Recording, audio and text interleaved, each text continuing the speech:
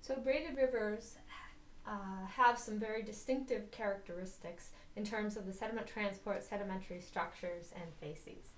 For, so with all sediment transport, the Reynolds number uh, is a really uh, important aspect of it, including for braided rivers. And when the flow speed is high and the water depth is high, there's more transport. So one of the key things for rivers in general is that the floods where the flow speed and water depth are highest uh, transport a lot of the sediment. So the floods are the things that really shape the overall geometry of the river and the channels. And they're the ones that control the maximum grain size because that's when the, the Reynolds number is highest and you can get the transport of those grains.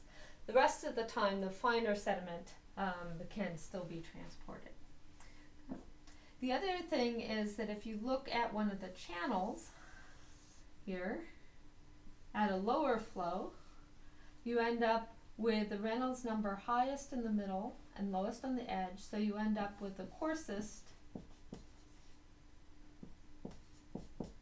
sediment here and finer uh, sediment uh, being deposited on the shallow parts.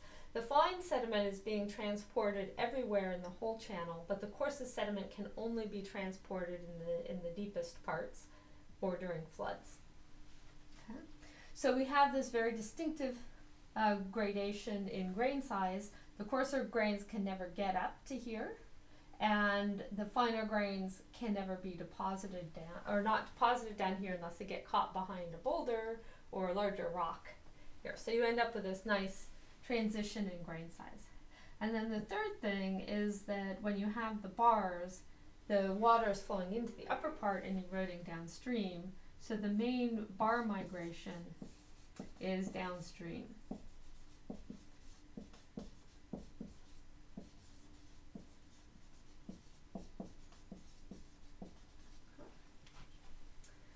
So these are some of the key dynamics uh, for braided rivers. Okay, so the sedimentary structures are related to both the grain size and the flow speed, and those characteristic of braided rivers often include uh, trough cross stratification, and that's from the uh, migration of irregular uh, dune shapes because the flow speed varies uh, dramatically within the channel you almost never get um, uh, straight crested uh, dunes forming. On the, on the edges of the bars where you might have granules to sand size type grains, you, the flow speed can, can be very high and you can get uh, upper planar lamination.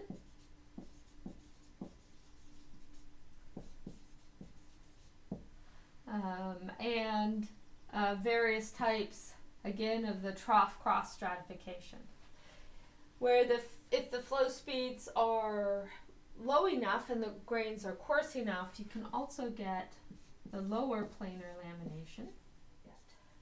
Um, it's also common along the very tops of the bars to get uh, ripple cross lamination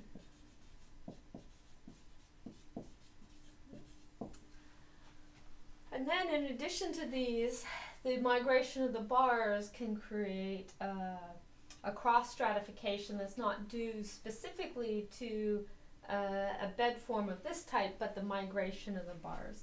So um, there's other uh, forms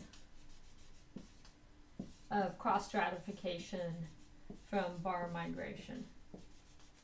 So one of the key things um, with the sedimentary structures is that they mostly represent a flow in one direction um, going downstream.